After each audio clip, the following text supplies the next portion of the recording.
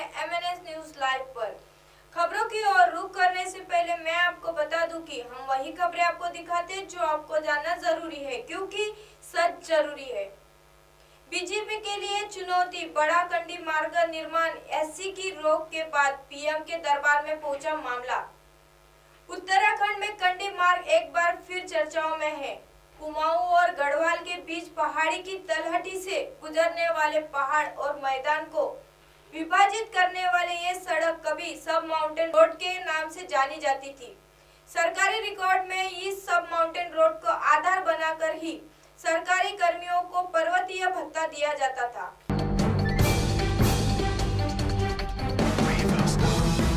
रघुवर cabinet का फैसला JPSC अध्यक्ष व सदस्यों के वेतन में तीन गुना इजाफा। मुख्यमंत्री रघुवर दास की अध्यक्षता में मंगलवार शाम कैबिनेट की बैठक में कुल 25 प्रस्तावों को मंजूरी दी गई।